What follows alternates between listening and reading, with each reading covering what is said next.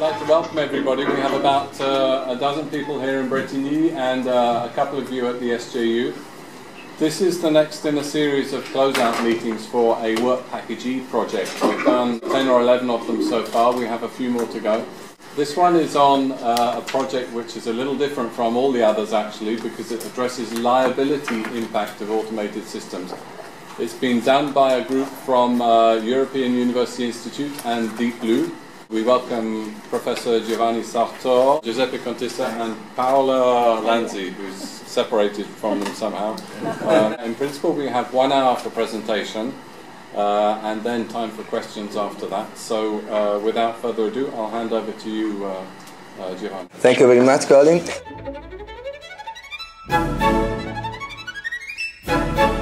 Let us start with the presentation uh, of the um, final results uh, of the Alias project. Alias, um, as uh, Colin said, means addressing liability impacts of automated systems. Let me first start uh, with uh, a couple of slides uh, which provide somehow uh, the rationale of our project. So let us see first a negative example and then, and then a positive one. Do you know this vehicle? It is the Eurohawk, which is an unmanned aerial vehicle developed for the German Ministry of Defense. It was funded and successful test flights were made, but in the 2013 the German defense minister stopped the project because there were massive problems in obtaining flight permits in the US place. This shows how if legal issues are not addressed at early time at the design space, then problems may emerge that may even require not deploying already developed project. Now let us move to the good example. This is Google driverless car. It was developed by Google with uh, a considerable investment and Nevada and other states issued laws uh, that allow for driverless vehicles to be tested in public street and also for running there. Maybe Google has good lobbying capacities, uh, but this shows how if um, legal issues are addressed at an earlier stage, then this facilitates the deployment uh, or even makes possible the deployment of, of a technology. And this is the main motivation behind the Alias project. We want legal issues and in particular liability issues to be addressed at an early stage during the design of a new concept so that the concept may be adapted to the legal requirement and if problems are to be addressed, that can be done at an earlier time. So the Alias project started in May 2001 and is finished in October 2013. Its purpose is to research on liability attribution and distribution with regard to highly automated technologies and in particular ATM two partners, the European University Institute, which I am representative, and Deep Blue, which is here represented by Paola Lanzi. There are two main outputs, which I will present uh, in detail, the legal case and the network of legal research in ATM, and I will also say a few words about two other important uh, documents we produced, framing the problem and case-based um, analysis and modeling. So this slide shows you the uh, main results of the Alias project. So we have a deliverable framing the project, which sets the scene for the rest uh, of the project, providing the background for it. Then we have case-based analysis and modeling, which on the basis of an extensive collection and analysis of a number of cases involving accidents, try to develop a framework for uh, addressing legal liabilities in aviation law. Then we have the legal case, which is uh, the core of the project, uh, the methodology to address legal issues in automated technologies at the design stage, and finally, the network of legal research in ATM, which is uh, an online community supporting by a website where material can be shared and uh, issues can be discussed. As you see from the arrows appearing, framing the program, the case-based analysis and modeling, and the network of legal research have all provided inputs for uh, the legal case, which, as I said, is the core outcome of the project. Let us now say a few words uh, on these other main uh, results of the project. Framing the problem um, provides an analysis of the impact of automation on socio-technical system in particular, what are the implications of automation as far as responsibility and legal liabilities are involved. Then there is an analysis of the regimes in different countries and different legal systems, and a discussion of certain core areas such as software, autonomous uh, automated systems, and organizational liability, which is the liability not of individual operator but of the organization, the company, or the structure in which they work. And then we have gone deeply into uh, the analysis of the legal framework for liabilities uh, in air traffic. The result, as I said, of this first deliverable, which we have continued updating during the whole project, is a framework for organizing and analyzing liability cases and uh, an analysis uh, of the theoretical basis and of specific issues involved in legal liabilities and cases and topics more generally for feeding also the network, for uh, stimulating and directing the discussions on our network. Another important deliverable that we produced is a case-based analysis and modeling. There we started with collecting a number of accidents and uh, discussing their legal implication, especially when court proceedings uh, and also legal analysis have been produced. And these cases are not only some air traffic accidents in aviation, we consider in particular the Uberlingen case, the Linate case, but also cases involving maritime transportation, atomic power plants, and we try to extract the general trends that we can see in these diverse areas. This has enabled us to identify connection between different kinds of failures and classify the legal issues emerging from failures. In some subsequent slides, this will be shown. We also have developed a model for connecting error accidents and uh, actors and liabilities, and we have applied this model to aviation. The results, uh, we have various analyses and classifications that then have been used in the legal case and in the various supporting tools that we have developed for the legal case. Another result of the project is the network of legal research in ATM is an online community which is supported by a website. It's a community of about 150 experts that meet, uh, discuss, and share documents online. It's very small, but uh, you can see in this side of the slide, these are the posts. So there are posts on various issues. We have discussed, in particular, some accidents. For instance, we had an important and judicial decision, such as the one that was um, in Cagliari, where air traffic controllers were criminally punished for having allowed visual approach when landing in Sardinia. This lower part of the screen shows our library where you can have access to various content. The purpose of the network is to support um, active participation and belonging. In particular, we have a library, as I said, which collects various documents, uh, in particular on legal matters related to aviation law, and uh, there are links with uh, other libraries, both technical libraries such as Skybrary and also legal libraries containing various legal materials materials pertaining to aviation. Let us now move into the legal case, which, as I said, is the core of our project and the main output we have delivered. What is the legal case? Now we start uh, a bit at an abstract level. It is a novel methodology to address legal issues of automatic technologies for air traffic management during their design process. It includes a standard process, which I will present in the next slides, to identify legal liabilities, as I said, at the design stage, where a concept is being produced in the structured way so the concept problems, legal problems and liabilities are addressed before the concept is then deployed.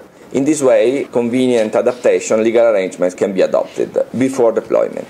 There are a variety of supporting tools such as tables, flow diagrams, uh, reports, which we have uh, provided uh, to facilitate the process. What are the principles of the legal case? The first uh, principle that we followed uh, is the idea that we say design according to liability or to legal issues. When a new concept is designed, legal liabilities and more general legal issues should be addressed at that stage in a coherent and comprehensive way so that problems emerging at the later stage needs it will not stop the deployment of the technology. Which is why we argued for a proactive approach. We should take an anticipatory perspective That is, usually we face a legal problem only when we are a judicial case. Therefore, the problem has already emerged, and the issue is how to face the judge and succeed in convincing the judge that we are right. But uh, a different approach is also possible. We should anticipate problems and try to avoid them from the very beginning.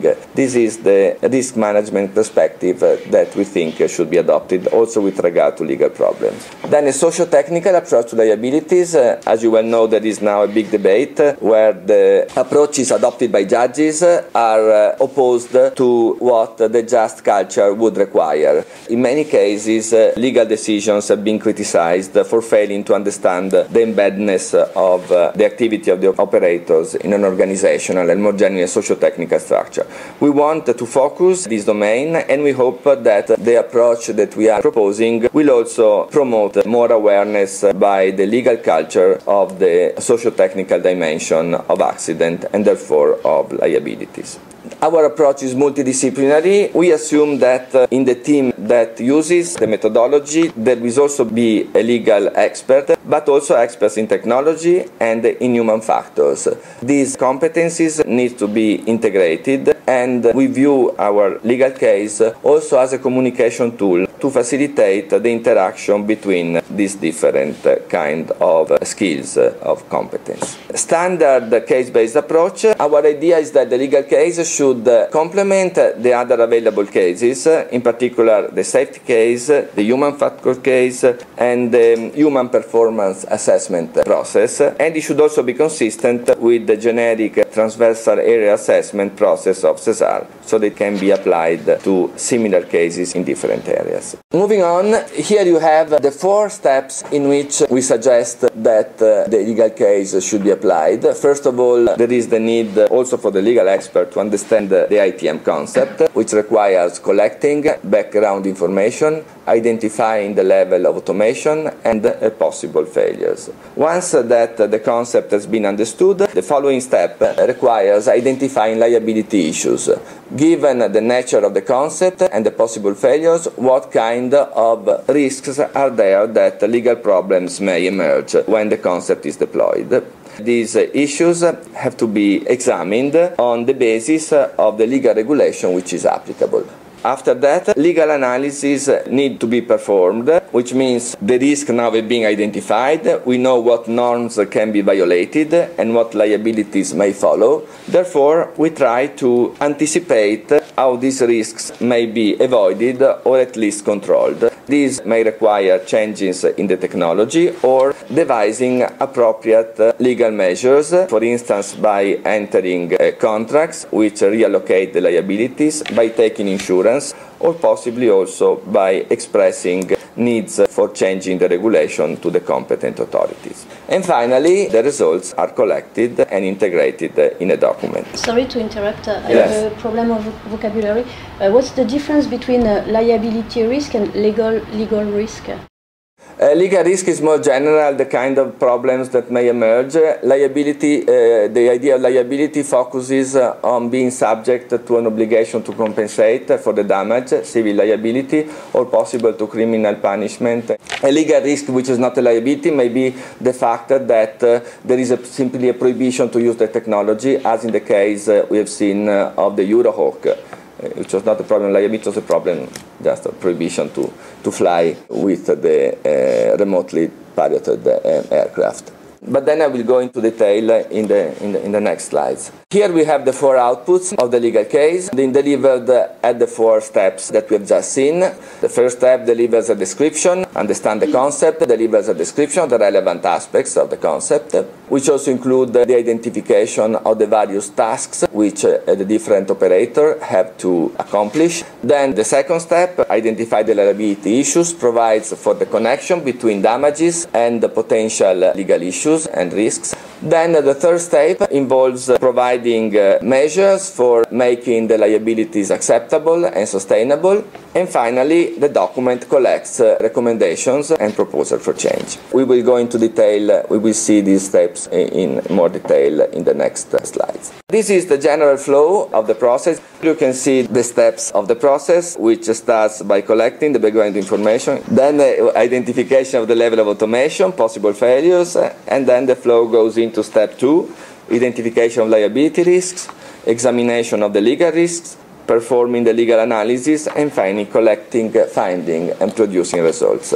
In the next slides, this is going to be illustrated in detail. Okay, let us now go into step one and have an in-depth uh, look into this first stage uh, of our process. This step has the purpose of collecting the relevant information. It uh, provides an understanding of the concept being used. For instance, the concept may be remotely piloted aircraft or it may be remote tower, control towers, etc. At this stage, we provide an understanding of the concept, focusing on the scope of the technology, its use in the operational context, and the impacts on the allocation of tasks, roles, and responsibilities, and possible failures. As you can see, the idea is that there should be an integration between the legal case and the other cases. For instance, the human performance assessment report should be used as an input at the first stage, while the safety report should provide an input at the stage stage where possible failures are identified. Here you can see the supporting table that we have designed in order to collect uh, technical information and also legal information about the new concept. We have also an instantiation of these tables. There is not the time to show it because we have made a first uh, attempt to apply our methodology to ACAS, which has been uh, our first broad trial for our methodology. The second sub-step involves identify levels of automation. For this purpose, uh, we suggest using the level of automation table, the LOA table, which was uh, developed uh, by SESAR project 16.5.1. Here you can see a bit of the LOA table. What we did was to develop an extension of the LOA table, which we called um, R LOAT, which means responsibility LOAT, which consists in, as you can see from the slots, of complementing the LOA table with the specification of the tasks that users have in connection with different levels of automation. So the idea is that as automation increases, there is a change in the task of the users, of the managers, and of the system. Maybe we can also see the whole of it, but it's a bit risky. Uh, Okay, I think this is this is the whole of the LOAT table, as you R LOAT table, sorry. And uh, as you can see, we cannot go in detail, but the idea is that uh, um, tasks of uh, users, managers, and systems change and uh, in this table we have connected uh, the change in level of automation to this uh, change in the allocation of tasks. Why is it relevant? It is relevant because certain legal liabilities, in particular liabilities connected with negligence, are related to the fact that a certain task has not been accomplished or has not been accomplished in an adequate way. Therefore, by identifying the level of automation, the related task, we are guided to identifying possible failures either in the human performance or in the organization or in the system. Let us move now to the following step step, which involves identifying possible failures. For our project, we have designed sets, uh, we call them maps, graphical representations, which help to identify the various components of our assessment and also we hope will facilitate communication between the lawyers, the legal component and the technical and human factor components involved in the team that makes the assessment. We have used this map methodology and we have various maps. We have classification maps for failures, damages and risks and then we have argumentation maps for legal analysis, legal design and also for addressing the insurance. A point of the maps is that they establish a link with similar representation models that are used in other cases and in particular in the safety case. Here you have an example just of a bit, then there is a further development of the map, but here we have to remain at uh, an abstract level. So failures are distinguished in organizational, technical latent condition, technical active error, human active error, and then there is still uh, subsequent uh, development of the analysis. So the basic idea is that on the basis of this classification of failure, it should be possible to identify and classify possible failures, producing a table of the kind that is shown in this slide. Okay, let me move on now to the next step. So we have now concluded the first abstract step of the process, which is understanding the ATM concept. We move now to the second step. We have understood what is the concept and we have an idea of what failures may emerge when the concept is deployed. Now we identify liability issues. As you see, we have uh, our risk liability maps that are the output of the previous step. We construct the risk liability maps in order to identify legal risks. We also have damage liability maps. We show them later. We establish the liability risks and then we go into the legal analysis and we understand under what conditions these liabilities may arise. What are the legal grounds for these liabilities? In the end, we have an idea of what legal problems may emerge from the deployment of this technology. This step is very important, it's a key step because we need to connect the technical information concerning possible failures that we got in the first stage with a legal analysis. This is an example of what we call damage liability maps. Again, it is very small, so I don't think it is visible, but the purpose of these maps is to link the risk of a failure to the risk of a possible legal liability that may concern criminal law, may concern private law, and there is a detailed analysis uh, which is developed. Again, the outcome of this analysis, uh, we have identified the risk that there is uh, a particular kind of liability. At this point, we express, we report the result in the supporting table. Now we move into the real legal analysis. There you have the example of a legal analysis map. For instance, we have understood from the previous map that there may be what we call an organizational liability. At this point, we have to uh, distinguish the various headings under which an organizational liability may take place. On this slide, what is the main message which you want to, what is it important from this legal risk map? We have identified in the previous map that there can be a liability for the enterprise, and this, uh, and this map gives you the condition under which an enterprise may be liable. So there may be what we call organizational liability, which uh, may consist in a harm to a legally protected interest or uh, deriving from the activity uh, processes of the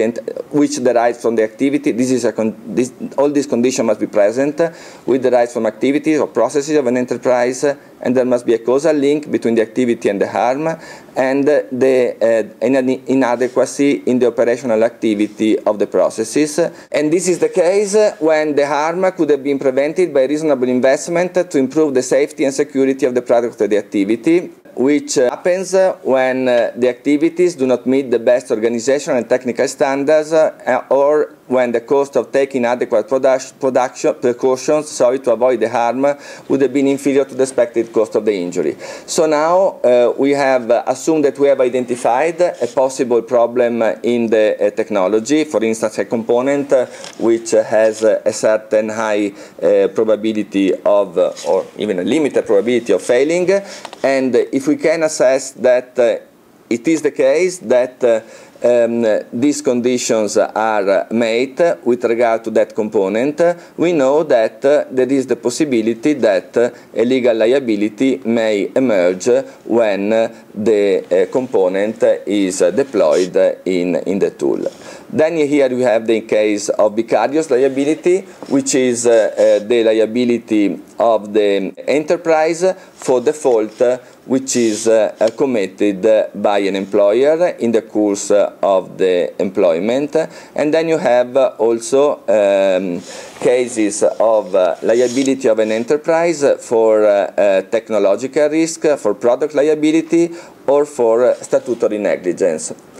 And uh, we have other maps that provide the conditions under which, for instance, an enterprise may be liable for product liability.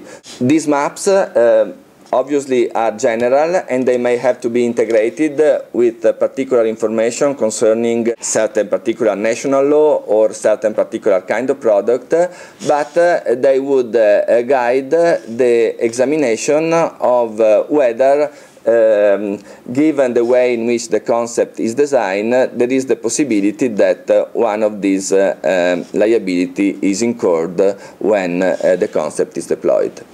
This is an example of um, uh, what we call legal analysis map. So given the possibility that there is a liability, we check uh, what are the legal grounds for incurring in this liability, and then we have to assess what are the chances that this ground are satisfied with regard to the technology that we are considering. This is, for instance, a similar map that develops the idea of product liability, which expands one of the nodes of the previous map. Just to point to one aspect of these maps, in these maps you have the grounds, for instance, for incurring in product liability, and uh, this red uh, shows uh, an exception. For instance, um, the fact that the product, uh, even if the product uh, has caused damage, the fact that the product was developed on the basis of the existing state of the art is an exception that makes so that there will be no product liability even though the product uh, was uh, dangerous. But at the state of the art, this was not uh, avoidable or perceivable. So these maps integrate the condition for having a legal effect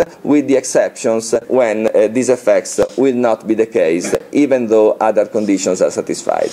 On the basis of this legal analysis map, we can assess whether there may be grounds for liability in future cases involving the deployment of the technology. I don't know, we have to test this to a larger extent, but I think that these kind of maps may be also a good language to communicate legal concepts in a very condensed way also to technical experts, because somehow they reflect the kind of and or diagrams or similar maps that are used for modeling software or the working of various devices. Again, this is the supporting table where the outcome of step two is going to be represented. So you have the stakeholder, the condition for the liability, the kind of liability, for instance, product liability, the risk that this liability will take place, and also what uh, may be done to, uh, to prevent it. Now we move into step three of the methodology, which concerns performing the legal analysis. The input will be provided by the step two, so now we know what kind of legal problems uh, may emerge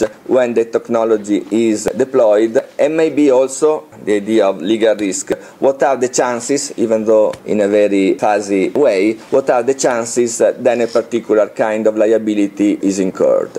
We have to see whether this is acceptable to all parties. Maybe a certain kind of liability is not acceptable, for instance, for the software developer. The software developer says, I cannot accept the liability for any damage that may arise from the use of my software, and therefore the software developer may require the user of the software to exempt the developer from liability, at least towards the user, in case, uh, for instance, an economic damage uh, that is caused by the fact that the software is not performing properly. An important issue is the issue of insurance. Usually there is a complex regulation dealing with insurance in aviation. There are obligations to take insurance up to certain amounts, but there is also a space for a contractual arrangement concerning insurance so that by taking an insurance, a further issue will be who is going to pay the insurance, the cost of the insurance, certain risks may become acceptable. This is an example of another map which we call the legal design maps and is built on the basis of the legal analysis maps that we have shown at an earlier stage. Here the purpose of the design map is that we should link to the liability map the possible measure that may be taken in order to make these liabilities sustainable, acceptable for all the involved parties. If there is a product liability, the manufacturer should uh, cover the cost of the liability, uh, being uh, liable. However, If we take an insurance, then we have uh, that uh, the insurance will indemnify the manufacturer so that the manufacturer, in the end, uh, while being liable, will not cover the cost of the insurance. But this will have the, the consequence that the manufacturer has to pay an insurance policy. Again, we may find some other party which takes the cost of the insurance policy. For instance, with regard to software, the user rather than the manufacturer may, may, uh, may cover the cost of the insurance. Maybe uh, there is a limitation clause again, and if there is a um, liability limitation clause, then, for instance, uh, if the airline includes in the contract with the software developer a liability limitation clause, then uh, there will be no compensation for the damage to the airline on the basis of, of this uh, limitation clause. Or there may be an agreement instead to strengthen the liability of the producer. For instance, according to the, uh, to the law, as it is understood, but uh, no, as we have seen in the Uberlingen case, in the recent Barcelona judgment, judges are uh, Uh, quite uh, uh, sometimes um, uh, take uh, peculiar decisions, but if the product had the design defect, usually there is the state-of-the-art exception according to which there is no liability. However, again, the, on the opposite side, the user of the technology may not be happy with that and may establish that the state-of-the-art exception cannot be invoked to, uh, for the manufacturer to avoid liability. So the manufacturer should be, uh, should be liable for all damages uh, caused by the product, even those that uh, result from uh, failure in the technology, but uh, the technology was developed according to the state of the art. So these, these which we called, sorry, these kind of maps have the purpose of showing how uh, what uh, is possible to do to um, through legal measures, to insurance uh, clauses, li uh, limitation clauses, and other legal measures to change the allocation of liability and therefore the allocation of the costs that uh, would result from, uh, from an accident. This would be the legal design map, which results from enriching with these further boxes the legal analysis map. This is another kind of map which is called insurance map. Here we have just a map which pictures the various possibilities that there are for insurance. Insurance is a very important legal measure for redistributing the risk of accident but also the risk of incurring liabilities. This map is just a taxonomy of the different kinds of insurance that can be taken. Now we have performed the legal analysis, we have established what can be done. There may be various proposals proposals. For instance, the software manufacturer may say, I want that my liability is limited or excluded. The user may say, no, I don't agree with that. You have to bear the risk. They may decide to take an insurance or not to take it, and they may decide who is going to pay for that. So there is going to be proposals and possibly an agreement on acceptance of the proposal or its rejection. And there may be comments. At that point, the analysis has been completed and we can move to the, collect the findings of the analysis and to write the final report, which synthesizes the result, uh, presents them. This picture is again the general flow of the process, but there are included two gates which are meant to identify the points where there may be a check on the results of the project to decide whether and how to move on. This flowchart shows that we are in step one, analyzing the concept. If the information is not enough, obviously we cannot move on and we have to go back to step one, restarting the process. If it is okay, we move to step two, and then uh, to the third step, which consists in we perform the legal analysis, then we move into the third step, and then we check whether the design measures that were identified are okay, if they have been accepted, or whether there is still a disagreement among the parties on how to allocate the liabilities resulting from the concept and if everything is okay, the legal case is concluded. Otherwise, we have to reconsider and move back to the previous steps. Why do we have execute step four? If you don't have enough information or if you didn't? Because just you, you, you produce a report anyway saying that uh, uh, no, we, we have not uh, been able to reach an agreement. Uh, this time uh, we should restart uh, and see whether we mainly to collect recommendations. If you are not able to conclude step one because you were not able to collect all the relevant information, in step four you will have a recommendation to get specific, the specific information that you missed. So as soon as you have a more complete picture, you can restart. So step one, as I said, is collecting the information, and uh, yeah, again, the idea is that when there is a failure, a recommendation should be issued in any case on how to move on. Step two, identify the liability issues. Step three, uh, perform legal analysis. And uh, again, if the outcomes are not satisfactory or not agreed upon, then there should be a document of recommendation on how to move on. And obviously, if uh, instead an agreement is reached, then uh, the legal case can be considered to be completed. This is just a template in which the final results of the projects are going to be presented. So it's just a document template on which to include the output. I think I've now completed my presentation of the legal case as it is now. This is the presentation of the legal case uh, where we stand. The foundational analysis has been completed. We have uh, this full version um, which is now available. We have also made uh, a first application of the legal case to the ACAS case to some extent. We have also tested the legal case to some small examples, but we have also kind of fuller example already accomplished. The network is online and uh, we have a community discussing legal issues of ATM. We had uh, continuous activity on the network in the last months. Obviously, some stimulus is required. We can do better, but there is still uh, significant uh, activity going on. What to do next? We need to test and consolidate the legal case, and we need also to expand the network and make most um, of its potentiality. So I think there is much to be done, but we have already a solid uh, basis uh, on which to build. The way forward uh, will be Alias 2, a continuation of the Alias project, which aims at uh, grounding, applying, refining, and consolidating the legal case. The having broad testing and applications uh, will be decisive for this step. And then we want to provide training and coaching session for uh, using the legal case in connection with new concepts so that it is adopted in the community. We want to develop also a set of better and broader supporting materials through the network platform and also to the training and coaching sessions and we would like also to expand uh, the alias community, the alias network, uh, so that uh, it becomes the place where stakeholders and projects may address liability issues, but also more generally also other legal issues in ATM. For this purpose, we want to supplement the online discussion with physical meetings, and in particular, we plan to hold an annual conference. Thank you very much for your attention. Uh, questions, suggestions uh, as welcome. Thank you. Thank you very much, Giuseppe. Very nice presentations. I think we'll start off, as usual, by going to our friends in Brussels to see if they have any questions. Okay, we would start with our re- SESAR regulatory uh, expert. Okay, Mara. Good afternoon. I am Mara Dame from the SESAR Regulatory Affairs.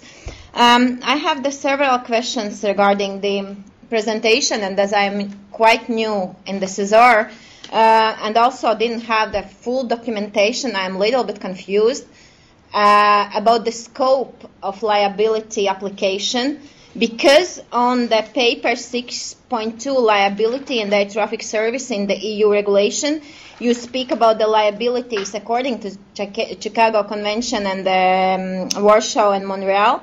That's correct. And uh, the liability of service providers, acceptable. The liability of states and national supervisory authorities could be acceptable uh, in the Chicago framework.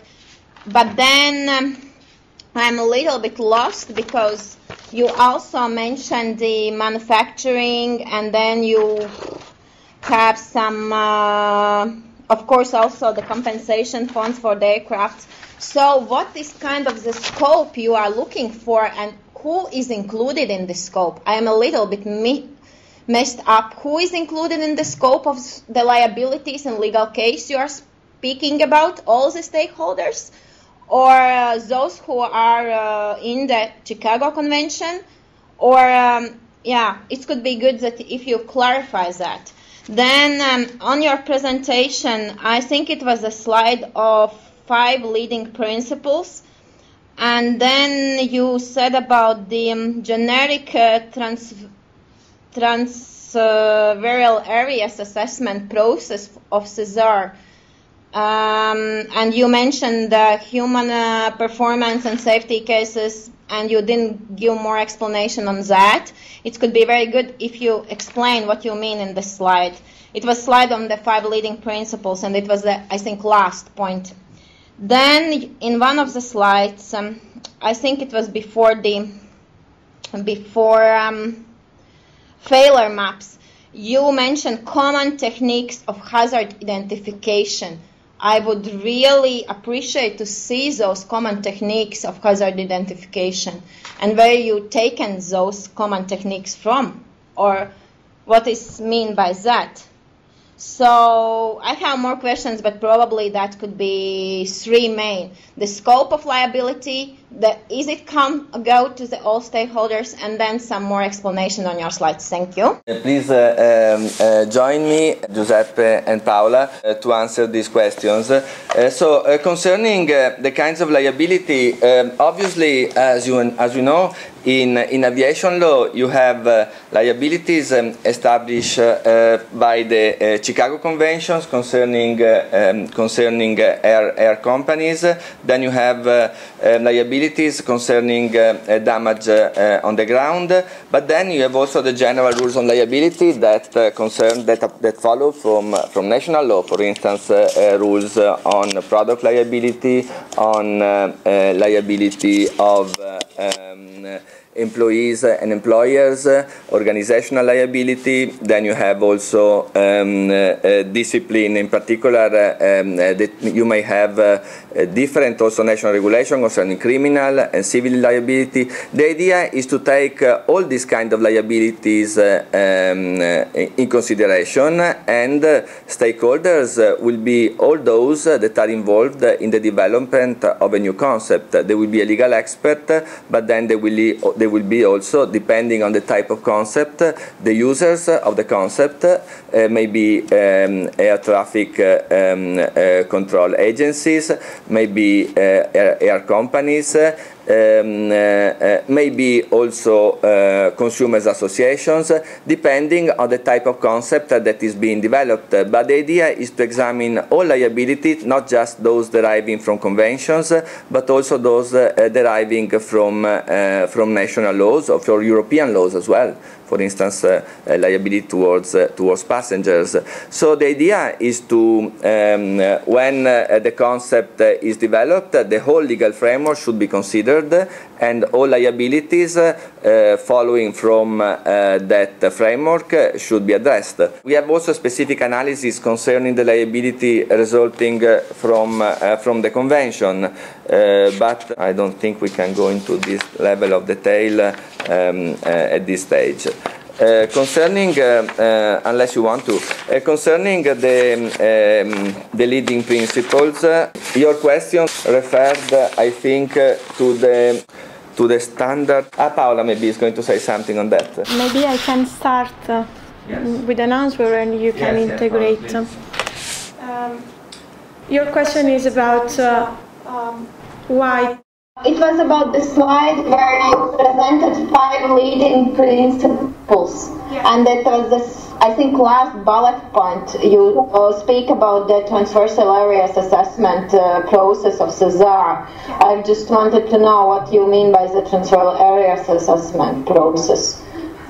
Uh, you know, it was the last bullet point in this slide, like a generic case-based approach. Yeah, you know, this is um this is a SESAR project, so we try to be as coherent as possible with what SESAR is going in primary and transversal projects. And you know that uh, um, there is an attempt uh, within our, within Project 16 of SESAR to to create a set of uh, cases that are in a sense coherent one with the others and integrated. And this is the reason why um, generic uh, transversal approach is proposed to be applied in the refinement uh, or in the creation of all the cases. This is also the reason why also the safety case, which is a quite consolidated case, uh, is going to be rearrange a little bit to be structured in the same way as the others. The same is going to happen with the human factor case, which is which is being transformed into the HP assessment process. And uh, we really want to be coherent with this kind of approach, so and to be not uh, overlapping uh, or in contrast with the other cases. So we adopted the same structure, the generic structure that is proposed for all the cases. And, uh, and we tried in our process to identify the links with the other available cases, which at the moment are the safety case and the human factor case. This because we don't want to be an isolated uh, uh, case in this environment and also uh, because we think that uh, duplication of work is useless. So if, for instance, uh, the identification of failures is carried out in the safety assessment, uh, in the safety case assessment, if this kind of work has already been carried out, why not to take it directly when the legal case is applied, or vice versa. If the legal case is applied first, it can be an input for the safety case. And the same for the HP assessment process. The first step of our case is exactly in line with the first step of the HP assessment process. And uh, depends on how the two processes develop, one can be the input for the other and vice versa. Is this uh, answer enough for you? Thank you. And we have some more questions. The common techniques of hazard identification. I just wanted to have the source where you take that from, and uh, is it regulation you take from, or you uh, your control materials are? I think that for the for the classification of the risks uh, of the possible failures, we are in line with the um, uh, safety assessment guidance material of Eurocontrol. So, so we are applying, we are trying to keep our process as close as possible to, to to the process used by Eurocontrol. Okay, and sorry, one point uh, I would like to mention to you. Um, we have uh, uh, concerning the connection between, uh, there is a complex indeed connection, as you mentioned before, between uh, the um, regulation of liabilities in the conventions and what happens instead in national law. And we have tried to address in particular this aspect, which I could not present today, in um, at page um, uh, in the in the in the map uh, quite complex that you can see at page 52 of uh, of our of our deliverable. So this is something that we have taken into account the the specific impacts of the conventions on the regulation liability. Even though I could not develop it adequately here.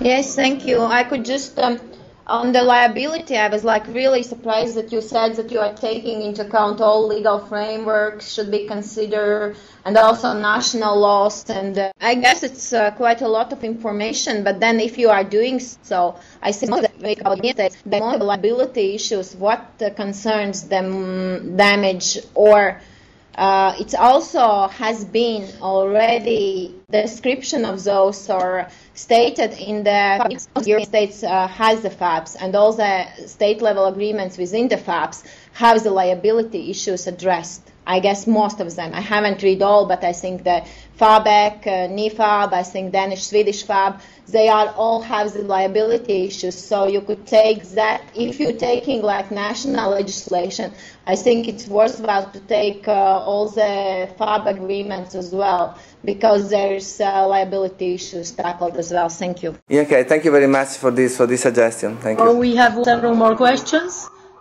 I would just like to understand a little bit more how this legal case uh, fits into SESAR as a whole.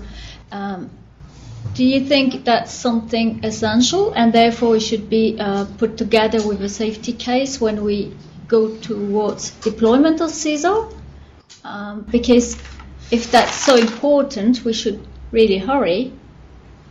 But I haven't seen anything like that in the work program at the moment. So it comes from work package E how it's been uh, included in the in the full uh, work work program, and how what is the its impact on uh, deployment. Maybe Paola, would you want to say? What I can say is that this is a WP project, so it's a long-term and innovative research. We are trying to to be coherent with SESAR in order to be integrated with the other activities that are going on.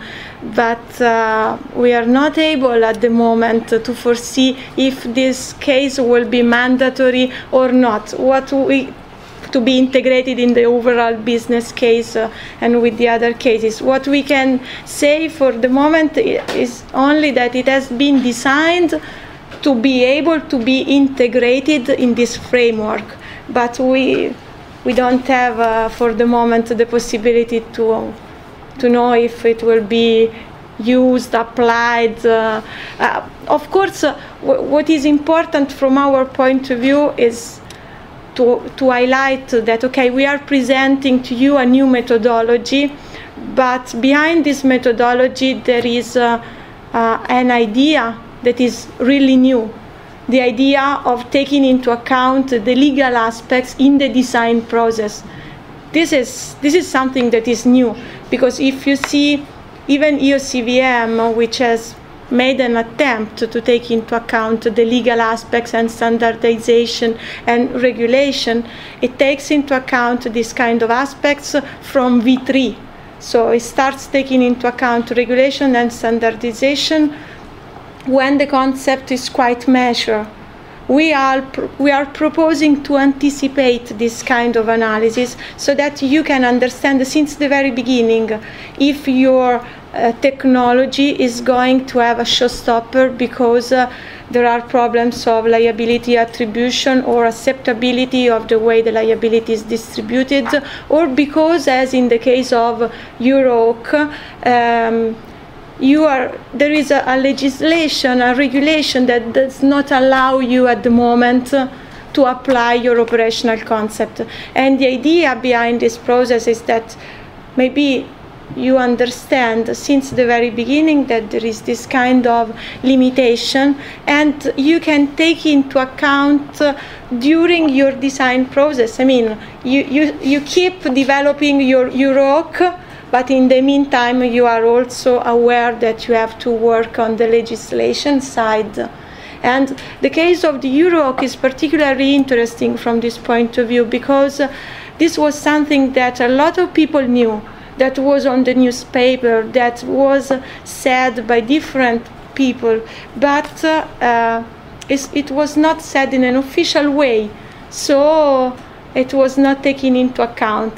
The, the, the project of development of EUROC uh, continued, and this idea that the regulation was not in line was completely ignored.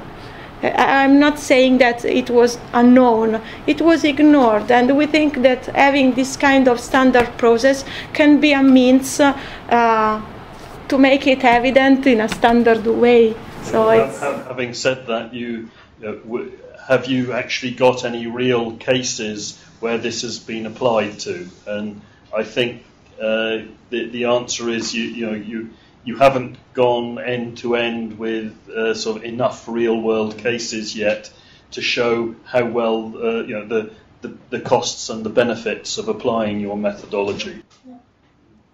But maybe one of the proposals should be first, as explained, yes. to test your methodology to concrete primary project, but also to include uh, this case in the EOCVM methodology at the different uh, V maturity level.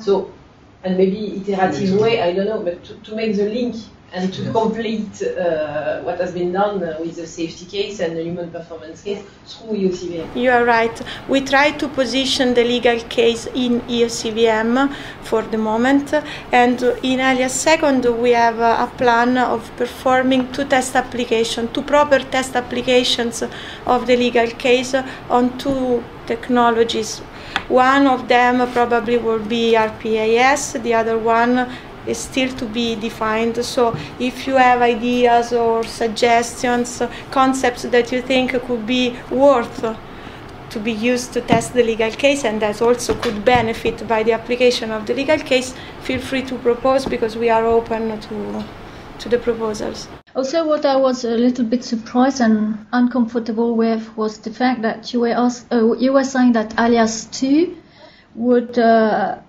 propose this uh, legal case and it will be adopted by the CNS community. No, it is proposed. Is what kind of adoption is that? What is this community? What is why are we doing that? And again, once more, how does that fit to SESAR deliverables? The idea is that we, through the test applications that we are performing in Alias Second, we will consolidate the methodology. And if the methodology is worth to be applied or receives the interest of people, we can start uh, training people on its application applying to other concepts, and it can be available for the community. That's it. Yeah, we hope that we apply it as much as large as possible. Yes. Okay, thanks. Another question is how much involvement with EASA has been done in this project? EASA, you mean? EASA. EASA, sorry. Um, I can tell you that EASA is uh, informally following uh, our work with a lot of interest.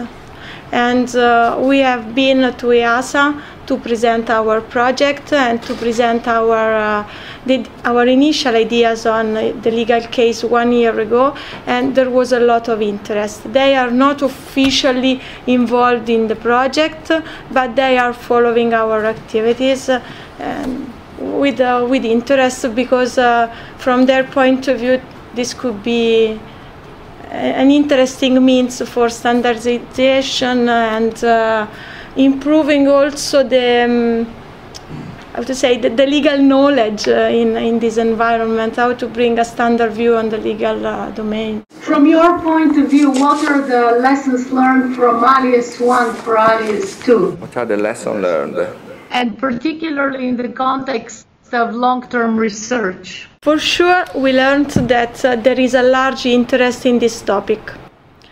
We had the feeling that it was like this when we started the project, but now we can see that this is um, that there are a lot of conferences, a lot of workshops that discuss on how to take into account liability issues and how to uh, bring the just, the just culture into the legal domain. So, uh, for sure, what we can say is that uh, we started maybe uh, in the right moment this project because now when we go uh, to those meetings or conferences or workshops, we are uh, considered uh, as people that have contents to share, new contents to share. And this is very good for us because uh, normally they discuss about conventions, roles of organizations, and uh, this kind of approach seems quite new in this environment. So we, we confirm that uh, we are well placed within Work Package So we are well placed in uh, long-term and innovative research, I think. Uh, for sure, we also we can also we also learned, but this is also a confirmation that uh, there is not a community that uh, that takes into account these kind of issues. We made an attempt to build a community, but it's not so easy. You can, if you go to our network, you can see it is very heterogeneous. We have people from about, uh, we tried to, to classify them, and at the end we had 10 different uh, categories of people. Uh, depending on the organizations they belong to. So, so we are really starting to create a community, and this is not easy. Uh, to, to make people uh, uh, discussing on this topic because uh, uh, it's uh, they, they, still have to create a common background, I think, and the maps that we proposed could be a way to to make the legal aspects easier to understand for the technicians, but on the other side, the legal case can also be a means to, to bring the legal people in the projects, uh, the technical projects. So.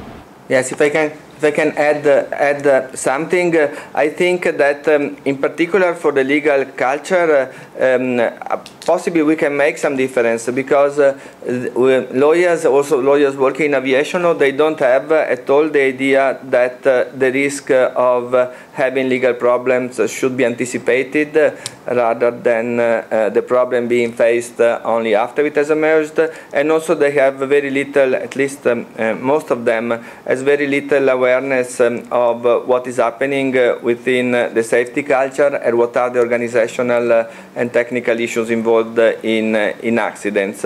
And um, um, we have the impression that um, also to the network, uh, we can make um, we can make a change. Uh, we can have an input also in the evolution of the legal discussion on these matters. And uh, um, among the uh, future initiatives, uh, we are also uh, organizing. In collaboration with the Center for Judicial Cooperation, which is established uh, in Florence, a conference involving judges uh, of different countries uh, and, and, experts on aviation on the issue of the connection between um, safety culture and adjudication on matters concerning liability. So I think that uh, we can uh, we can make a difference to some extent. Right, uh, local questions, Chris. Yeah. Thank you very much. Thank you. So there's been a lot of automation introduced into the cockpit over the last few decades, and I was just with two human operators. I was just wondering, what is it about that legal framework which is different to the one you propose for the ground? With regard to automation, I think first of all uh, there must be awareness what is the legal framework, what is the existing legal framework. Automation uh, it's uh, uh, making a, a difference uh, also with regard to the existing legal framework. it shifts um, tasks and therefore liabilities from the operators to the developers of the technology, of the technologies, and of and to those uh, who organize the framework where um, operators and technologies are going to interact. And uh, when you introduce a new technology, you have to be aware that this is taking place, and therefore uh, to uh, take into account uh, how this change in tasks involve new kinds of liability, for instance, liability of the software developer, liability of the maintainer of the, of the software, and um, liability for the designer of the man-machine interaction, and how this uh, is going to have uh, um, an impact then on possible future legal issues. So I think that uh, um, uh, it is not the case that uh, we are always um, aware of these changes and one of the purposes of the methodologies that we are developing is uh, uh, exactly identifying uh, the changes produced by automation and what uh, uh, difference they make uh, with regard to legal liabilities. so there are two things that we, that we may want to do. One thing is what happens according to the existing law if something does not work, uh, who is going to be liable according to existing law? And secondly, uh, uh, an idea may also be uh, suggest possible changes uh, in, uh, in the regulation, but this is only to some extent within the scope of the development of the concept because it depends how much influence it may have with regard to the competent decision maker setting standards or setting rules. I think Chris is saying, haven't we already done this for the cockpit, for example? Haven't we had ah, these sorry, kinds so of discussions? We wanted to know whether we have already done our analysis. Well, uh, was the comparison with, with other things, for example, where the cockpit has become much more highly automated? Haven't we had these discussions already? The idea is that we started uh, creating a methodology which is for ground concepts, but then we discovered that uh, probably it, it can have a, a more uh, extended application. So. Um, properly updated the same process and the maps uh, can be applied also to automations that concern the airborne side and a proof of this is that um, we in the last part of ALIAS we went to several conferences presenting this methodology and also to um, conferences in which people from other transport domains uh, or even from other safety critical domains as the healthcare for instance were involved. And they had a large interest in this methodology and they thought that uh, it could be in principle applied also in other in their domains and they also welcomed the methodology as a as a way of uh, creating best practices uh, among different uh, transport areas or different safety critical domains. The point is, I understand you, you may wish to apply then your methodology, but I think the initial question was before that. Uh, there is, I mean, the automation in the cockpit happened before on the ground side, and I believe automation also in other fields appear happen just largely before us. So the point is, uh, there have been information introduced, and possibly the, this issue in terms of uh, liability or legality, and also in terms of methodology. So, what have you looked at? What's been done previously? Okay. What are, in terms of state of the art before developing a new one? Did you consider what's been done before?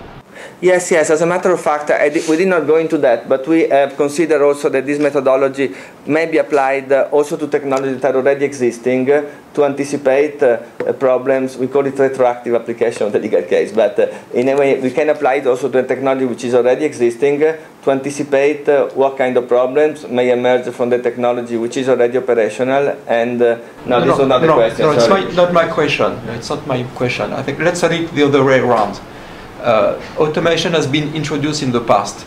Okay. I guess I'm not an expert, so I guess that they have developed their own methodology. No, there's hardly anything out there already, and that's the point. And I think that the, the approach to uh, liability, and I'm, uh, you'll correct me if I'm wrong, has been um, quite superficial.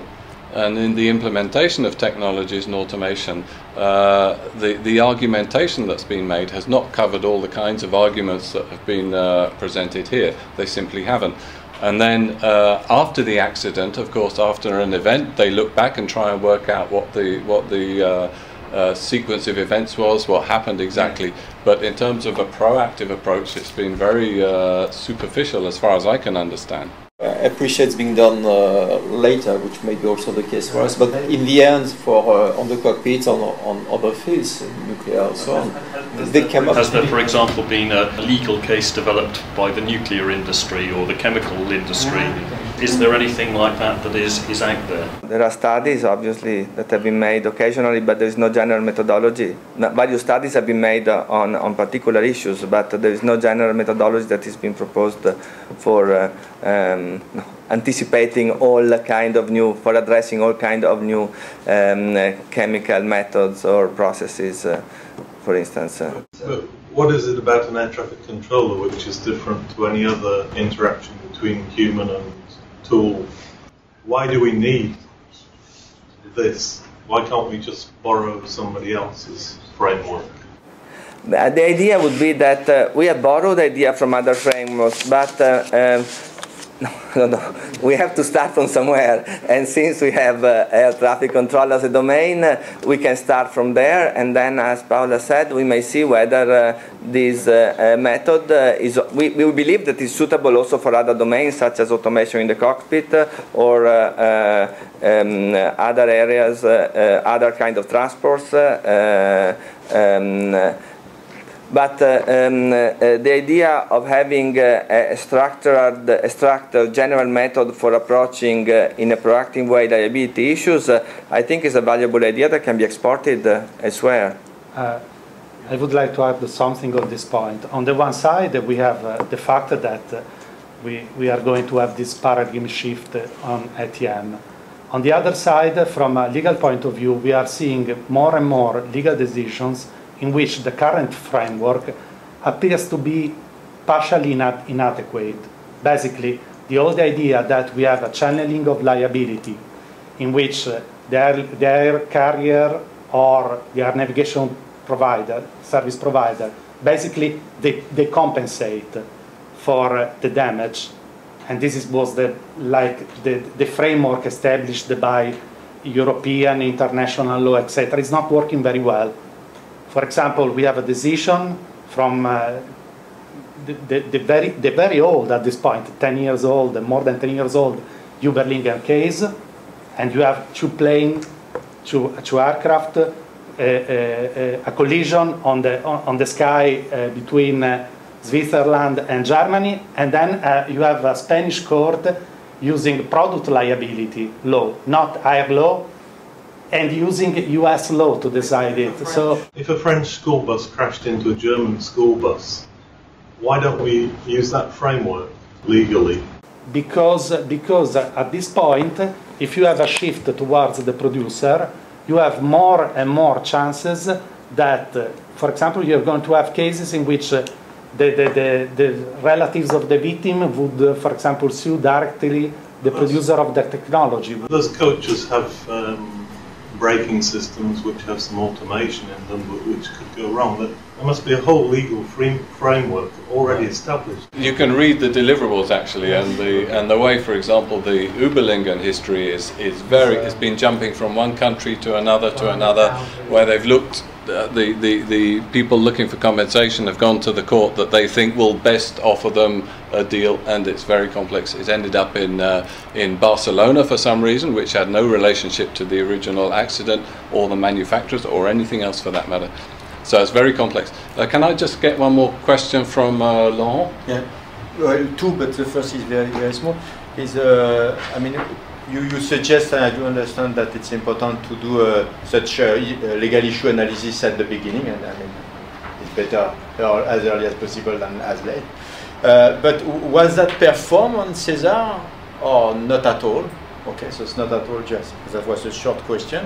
And then, uh, do we know, even if that was not done, do we foresee some legal issue on the some of the concept, or we don't know or we foresee some might, might uh, have problems? I can certainly foresee some in ACAS. I worked with them to give a, a practical example. With ACAS, the Barcelona Court of Appeal judgment gave $300 million, I think, judgment. Uh, this, you know, back of an envelope calculation is approximately all of the uh, benefit, uh, the profit that has been made from producing all ACAS units. Uh, against, the, the, against the manufacturers. So, you know, have we created something that uh, uh, has this judgment basically made the uh, made it uh, not profitable to produce uh, collision avoidance systems? You know, that's if you've got that situation, it's clearly unacceptable. Because this has probably saved loads more accidents than the one that actually happened. Uh, you know, how institutionally is that going to be handled?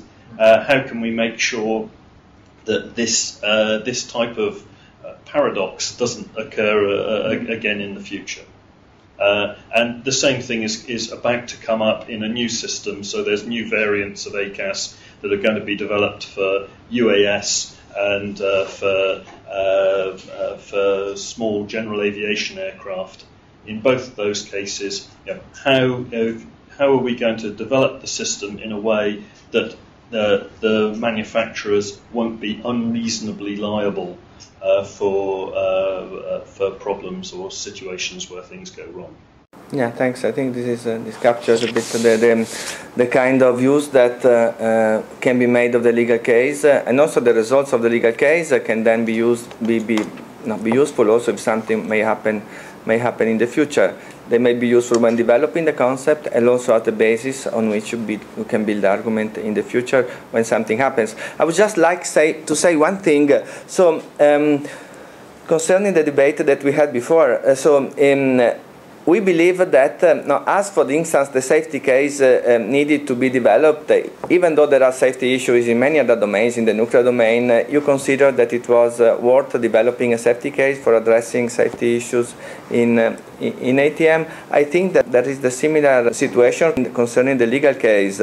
It is useful, I think, even though uh, many issues are common to other areas, um, it, is, it is useful to have uh, a structured process to address liability issues uh, in, the, in, uh, in air traffic control and uh, uh, we believe that uh, it may become also um, a pattern that can be transferred also to other areas. This will be also something interesting to examine to what extent this may be possible.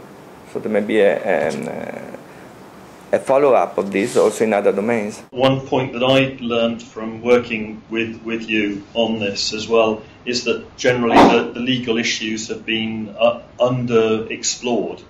Uh, that uh, uh I found out about the Barcelona judgment and uh, some of the details of that, and digging into it, uh, you know, there were practical things where the courts weren't getting things right, you know, getting technical details wrong, uh, and there's a need for us, or a need for me to at least write a paper to correct some of the the, the legal aspects that have been, in my opinion, very badly badly done.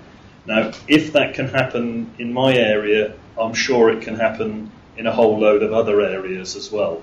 And uh, uh, I think that um, one message from this is generally we should be we should start to be more interested in legal issues uh, with with ATM.